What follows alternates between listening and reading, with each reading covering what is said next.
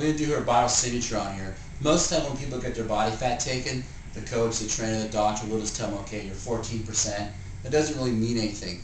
Over the past 25 years working with athletes, we've collected a lot of data. And usually we only have an athlete for a very, very short period of time during the offseason, 12 weeks. So we have to reduce their body fat in a very, very fast, fast manner. So we developed a system over the past 25 years where you cannot spot reduce when you exercise. So when you do abdominal sit-ups, it will not pull the body fat off your stomach area. Okay? At that time, you could be pulling body fat from your chest, your kneecap, your big toe to do this movement. Okay?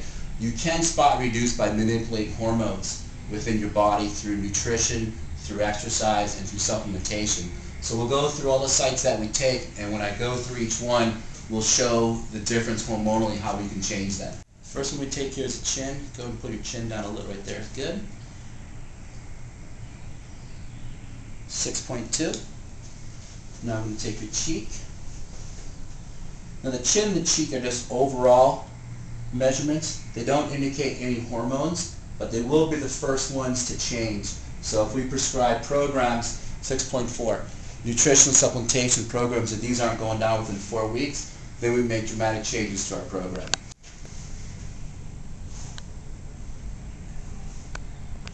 Five point two. Straighten that arm out.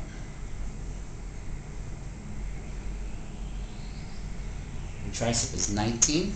Just by doing this, we can diagnose a lot of thyroid issues, and then I'm getting right them over to a medical doctor to get this supervised. Yours is normal at 4.6. People that want to spot reduce just on, on the love handles, this is a blood sugar regulation site.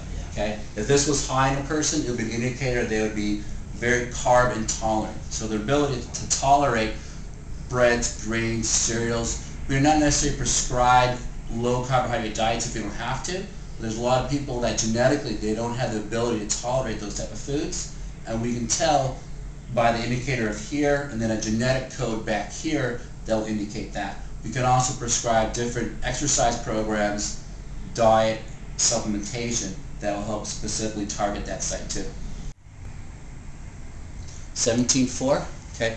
The umbilicus is a stress site, so it's a it, it's cortisol uh, site, which is a hormone. So cortisone, for example, if you're being chased by a lion, okay, cortisol would raise because you're under stress, okay, mm-hmm. and you would run faster, okay. Mm-hmm. It's also a fat storing hormone, mm-hmm. okay. So a lot of people that are under physical, mental, emotional, inflammation, pain, will have a tendency to store body fat in that site. Mm-hmm. A lot of times it can also be a dietary factor where if they're fat through their suprailiac and they're fat through the umbilicus, that usually has to do with a lot of intolerance to carbohydrates, processed foods, sugar, stuff like that, where you're, you're fairly lean to the suprailiac, so you have an elevated cortisol.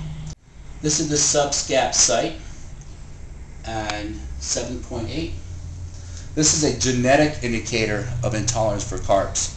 So a lot of times if this is a high pinch in somebody, we can ask their family history as far as heart disease, and usually if this is elevated, they will have a risk indicator for family heart disease. Now I'm going to take your kneecap here, which is 4, and then I'm going to take medial calf,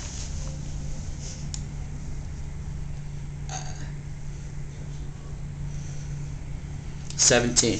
Her kneecap is, is, is a good score. Her medial calf is another poor score. So this will indicate a low growth hormone IGF levels, okay, which is a, which is an indicator of your sleep patterns. People that always stay up late at night, okay, because you you produce most of your growth hormone at at nighttime when you sleep. Telling you need more rest. You need to go to bed earlier. Okay. Okay. You need to go to bed earlier and do more work in the morning, and that will decrease actually help you decrease your belly fat, a little bit of belly fat that you have, and will decrease that score in your calf. Based with Lauren's body fat, it came out to be about 16.5%, okay? Don't tell anybody. Which is correlated a little, a little bit higher than what she sees female, but she's very, very lean.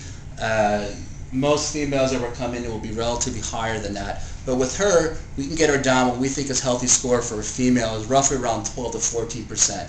Is a very, very good shape, healthy looking female. And she just needs a few spots to, a few places spot reduce.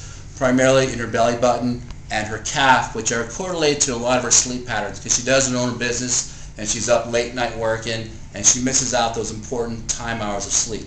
So what uh, Mike just also uh, did was dispel the myth that napping is for lazy people, and that that is really an extremely not only healthy thing, but um, can help you with your weight loss. Is that true? That is absolutely correct. A lot of people think that napping is lazy, and unfortunately with everybody's busy lifestyles, we don't get a lot of chances to nap. But if you do get a free time to take a half hour, hour nap, no longer than an hour, it's definitely a good way to recharge your battery, catch up on a little sleep, and that will help with your weight loss.